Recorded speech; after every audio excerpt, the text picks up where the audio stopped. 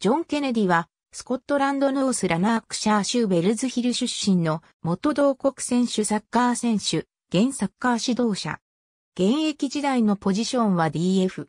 セルティック FC の下部組織出身で、1999年に同クラブでプロデビューを果たす。2004年3月31日に行われた親善試合のルーマニア戦で代表デビュー。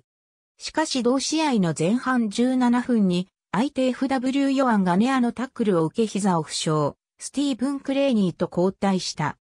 この故障の影響により、長期の離脱を余儀なくされ、2007年11月28日の UEFA チャンピオンズリーググループリーグ FC シャフタールドネツク戦で3年弱ぶりにピッチに立った。2008年夏にはマザーウェル FC のキャンプに参加したが、セルティックの要求する金銭的な条件を満たせず同クラブへの加入は実現しなかった。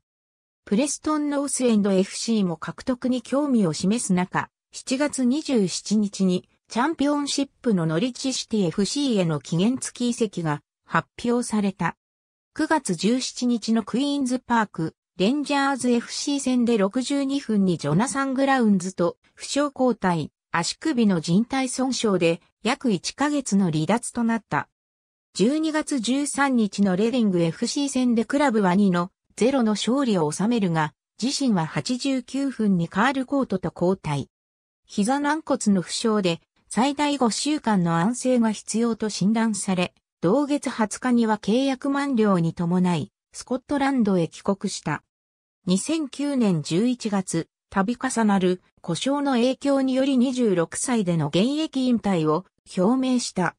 引退後もクラブに残留し、欧州巡回スカウトに就任した。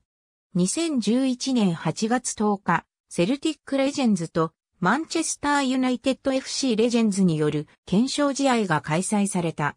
2014から15シーズンより監督に就任したロニー・デイラの下、ファーストチームのコーチを務める。